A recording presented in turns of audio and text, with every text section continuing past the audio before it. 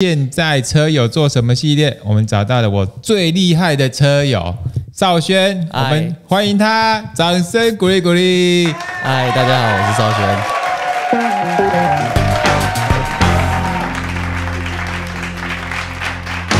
哇，邵轩，我们终于在第四集邀请到你了。那你今年的成绩应该还算不错吧？还符合你今年训练出来的成果吗？诶、今年对啊，就是刚刚讲的那几场比赛，算是有达成自己的小目标啊。那你是从什么时候决定要踏入公路车这个运动？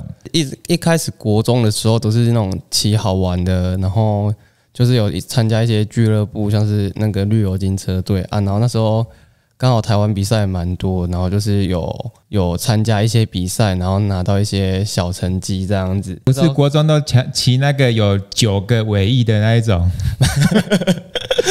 那个没有，但是国小的时候有曾经想改过，可是那时候没有钱买红泥板。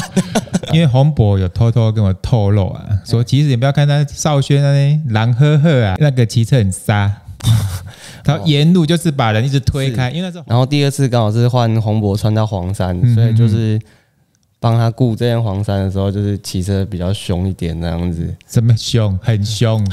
好，哎、那那我们这次全运会，我们是南投国代表，哦，对，那除了那个意想他一直帮你以外，其他人呢？现在像潘哥的话，他就是在集团，我知道可能我想要移动到哪里，然后他就会在前面嗯，帮我带，然后就是让我可能节省一些体力啊，就是让我移动得比较顺畅，不用花。可能原本可能要到用到三百瓦才能到上面去，嗯啊，但你可能只要两百五啊，你就可以节省掉五十瓦左右的。哦，潘哥也是很老经验，哦对对对，潘哥也是本身蛮有赛事经验的一个选手。啊屁孩一成呢？一晨哦，一晨的话，他也是前面尝着尝试着要去突围，可是后面就不幸摔车。对啊，他跟那个谁阿九九，，哎呀，阿九比较倒霉，对阿九那个眼镜，那个 独能没有眼龙的眼镜，对，没有看到危险的地方。好，不过因为我们比较不知道最后发生什么事，最后一开始就六人小组突围嘛，对进进山的时候，对对，那什么情况下变成最后你们四人？然后之后建良就在前面，就是带一个高速，嗯然后就一路到那个公车站停那个回转弯的时候，嗯，然后那时候阿凯他就开一波比较大力一点的攻击，然后就把直接把集团筛选到剩四位选手左右那一段陡坡，大概三公里左右哎吧，呀，高靠 看了就觉得很累那个真的超累的。就 啊。然后然后最后的话，就是在冲线的时候有点算是小失误，嗯然后就是没有抓到那个节攻击点吧，然后所以就就没有冲好这样子。然后你们补给的水都用什么水？哦，我们都装我们赞助商这个 Ice Feel 的水，真的吗？真的啦，我们那个超多箱的真的哦，哦。那个比现在换到 Fate 这台是，嗯，算是我觉得更适合我的车吧。嗯对啊，因为它就是在各种路线地形都有发挥它的优势出来。呃，还有像轮子的话，就是 DT Swiss，、然哦，后安全帽的部分就是 Poke POC。嗯嗯嗯，对啊，然后眼镜的话就七二零，当然还有吃的部分的话就是 Avino Vital，嗯嗯嗯，这个 Avino Vital 就是来自日本的营养品，我自己是蛮喜欢的啊。嗯，对，因为脑中就会有自己一个想法，说嗯，这场比赛我大概想要那你这一次会突围吗？比赛就知道了哦。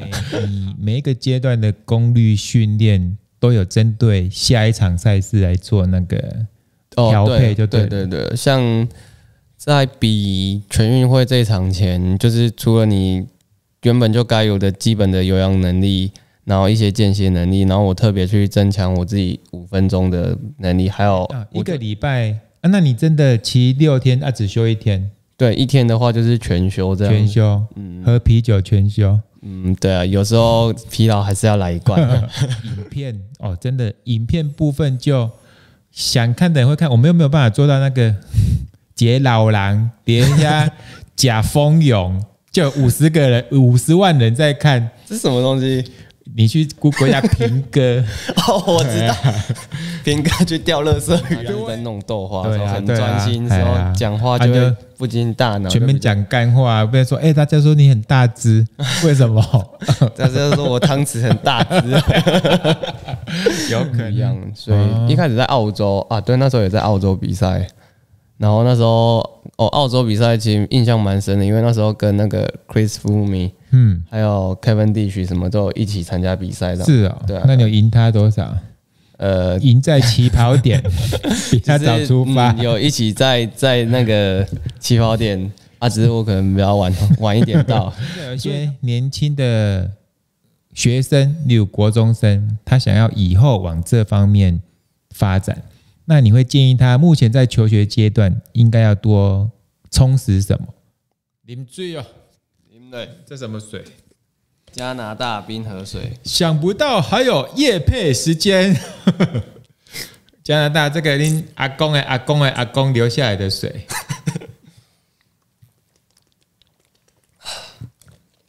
有加拿大的感觉吗？我有我有感受到枫叶。